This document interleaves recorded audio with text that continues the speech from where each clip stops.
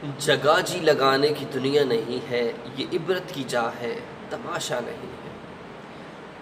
बिसमीम अल्लाम वरहमतुल्लाह। उम्मीद करता हूँ कि तमाम चाहने वाले खैर वाफियत के साथ होंगे। अल्लाह आप सबको सलामत रखे, आप सबकी दिन दुनिया की मुश्किलों को आसान फरमाए।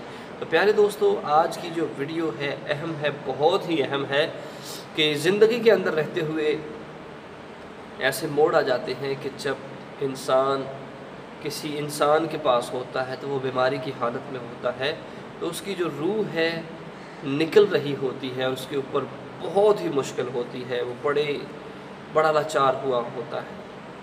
उस दौरान एक प्यारे आका सल्लल्लाहु अलैहि वसल्लम का अमल है, जो करीम सलाम का फरमान है, उस पर अमल कीजिए। इन जिसके पास आप मौजूद हैं, उसकी अगर रूह निकल रही है तो उसके पास ही अमल कीजिए इन उसकी रूह के लिए, रूह निकलने के लिए। दौरान आसानी पैदा होगी तो दोस्तों मोहतरम, मरना तो हर किसी ने है। मरना तो हर किसी ने है, लेकिन याद रखिएगा, अगर आप किसी के पास मौजूद हैं और किसी के ऊपर ये लम्हा आ गया तो उसके लिए आपने आसानी के, की, उसके लिए आपने थोड़ी एफ़र्ट की, थोड़ा वक्त निकाला। तो याद रखिए, इसके अंदर आपका अपना भी फ़ायदा होगा। क्योंकि जब आपकी रूह कब्ज़ होगी उसके अंदर अल्लाह आपकी रूह निकलने के दौरान आपके ऊपर भी अपना करम फरमाएगा। तो दोस्तान मोहतरम, ये वो अमल है कि जो हकूक़ुल्लाह के अंदर आता है हकूक़ुल इबाद के अंदर आता है। हकूक़ुल इबाद जो है, इंसानों की मोहब्बत है।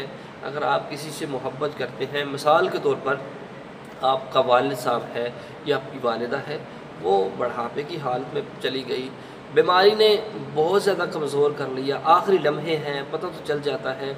आखिरी लम्हात हैं और रूह नहीं निकल रही। तो उसके पास ये अमल आपने लाजमी करना है। जब आप वक़्त निकालेंगे, किसी के लिए, किसी के लिए अच्छा सोचेंगे तो अल्लाह रब्ज़त क़यामत के दिन आपको अजर अता फरमाएगा। तो करीमा सलाम ने फरमाया कि अगर किसी की रूह निकल रही हो तो उसके पास बैठ कर सुर यासीन की तिलावत कीजिए। सुर यासीन पढ़ें, बुलंद आवाज़ के साथ उसके कानों के अंदर जाए।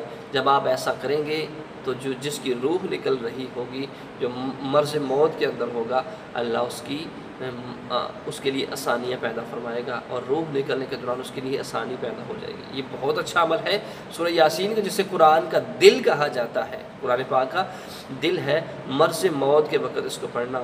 बहुत ही अच्छी है, बहुत ही शफा वाला अमल है, बहुत ही बायस बरकत अमल है तो ज़रूर आप भी ऐसा अमल कीजिएगा कि जब ज़िंदगी में रहते हुए अगर आपको ऐसा मौका मिला या ऐसा मोड़ आ गया तो ज़रूर वक़्त निकालिए, वज़ू कीजिए और उसके पास उसके सरहाने वाली साइड पे बैठकर अल्लाह के कलाम की तिलावत कीजिए सुर यासिन की तिलावत कीजिए इन आप करेंगे तो बहुत बड़ा फ़ायदा नसीब होगा। जजाकम्ला